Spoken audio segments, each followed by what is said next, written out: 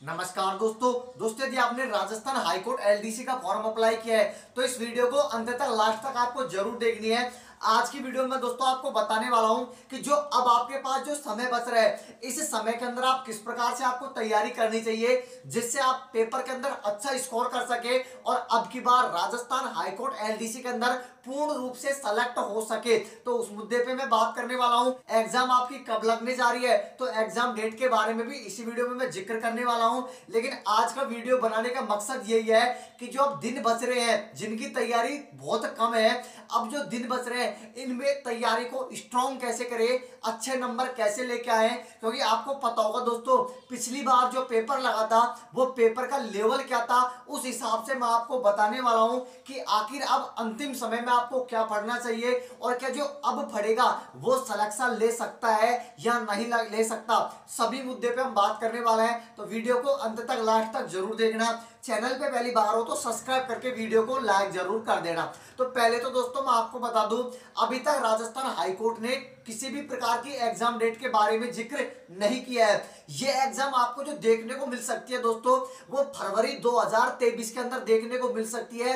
मैं ऐसा इसलिए बोल रहा हूँ क्योंकि अभी तक एग्ज़ाम डेट का ज़िक्र नहीं किया गया है और आपको ये भी पता होगा एग्ज़ाम से कम से कम 25 से 30 दिन पहले उनको बताना पड़ता है कि हम फलानी तारीख से एग्ज़ाम लेने जा रहे हैं। तो जो चांस नज़र आ रहे हैं दोस्तों, वो चांस नज़र आ रहे हैं कि फरवरी 2023 में आपके एग्ज़ाम है, वो जाने वाली है।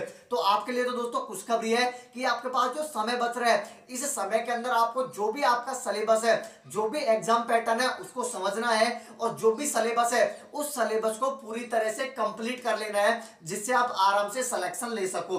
तो ये तो मैंने आपको एग्ज़ाम डेट के बारे में बता दिया कि परीक्षा वो कब होने जा रही है। लेकिन आज वीडियो बनाने का मकसद है कि सिलेक्शन कैसे ले। दोस्तों, मैं आपको बता दूँ कि जो एग्ज़ाम पहले लगा था, जो पेपर लीक होने के कारण उस एग्ज़ाम को रद्द कर दिया गया था उस पेपर का लेवल यदि आप देखोगे तो आप खुद बोलोगे कि पेपर का लेवल थोड़ा सा मीडियम लेवल का और वैसा ही पेपर दोस्तों अब लगने वाला है, क्योंकि ये पेपर होता है, ये पेपर थोड़ा सा नॉर्मल आता है, इसलिए आता है क्योंकि आज के टाइपिंग भी है एफिशिएंसी टेस्ट भी है तो ज़्यादातर बच्चे टाइपिंग के अंदर बाहर हो जाते हैं, जिस कारण से पेपर का लेवल है वो थोड़ा सा मीडियम रखा जाता है। थोड़ा सा दोस्तों सरल रखा जाता है। आप पेपर उठाकर देख लेना, आपको पता चल जाएगा कि पेपर में क्वेश्चन है, वो किस टाइप के पूछे गए थे।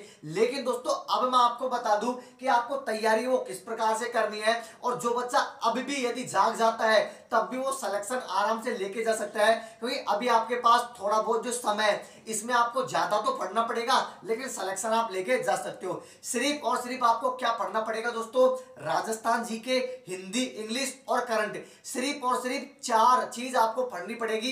राजस्थान जी के हिंदी, इंग्लिश और करंट। यदि आप इनको पढ़ लेते हो, जो मैंने बोर्ड पे लिख दिया है, राजस्थान जी के करंट के पचास क्वेश्चन आने वाले हैं, हिंदी के पचास क्वेश्चन आने वाले हैं, और इंग्लिश के भी पचास क्वेश्चन आने वाले हैं। टोटल मिलाकर मैं बात कर लू 300 नंबर नंबर लाने पर आप सेलेक्ट हो जाओगे। उसके भी मैं बात करने वाला हूँ इसी वीडियो में तो वीडियो पूरी ज़रूर देखना।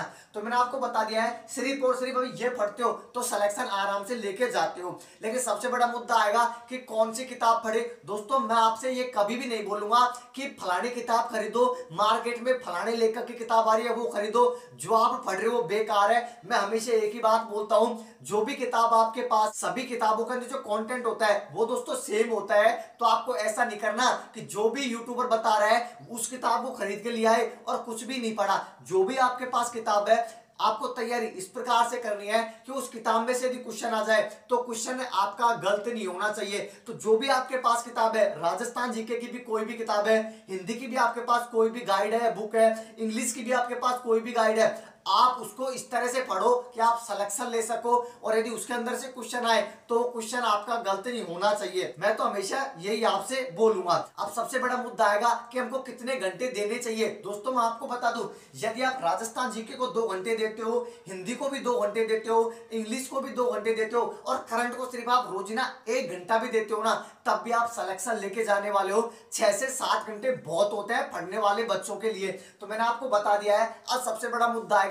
कि करंट हम राजस्थान की पढ़े या इंडिया की पढ़े। दोस्तों, आपका नोटिफिकेशन में कहीं पर भी ऐसा नहीं लिख रहा था। कि हम करंट राजस्थान की पूछेंगे, वो इंडिया की भी पूछ सकते हैं, राजस्थान की पूछ सकते हैं, लेकिन ज़्यादा ध्यान आपको राजस्थान के ऊपर देना है, लेकिन इंडिया की भी आपको पढ़नी है, करंट अफेयर। कितनी पुरानी पढ़े आपकी एग्ज़ाम लगती है, उससे कम से कम आठ से नौ महीने पीछे की आपको करंट पढ़नी पड़ेगी। यदि आप सिलेक्शन लेना चाहते हो तो आपको पढ़नी पड़ेगी। तो ये तो मैंने आपको ये बता दिया।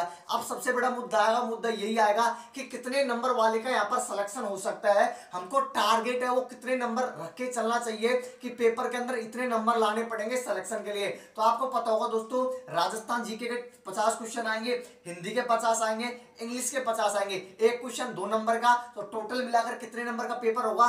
300 अंक का आपका पेपर होगा। तो मोटा मोटा अंदाज़ा मैं आपको बता दूँ, यदि आप 300 में से, ध्यान से सुन लेना 300 में से 240 प्लस नंबर भी ले आते हो ना तब भी आप सिलेक्शन लेके जाने वाले हो। क्यों? क्योंकि आगे टाइपिंग है।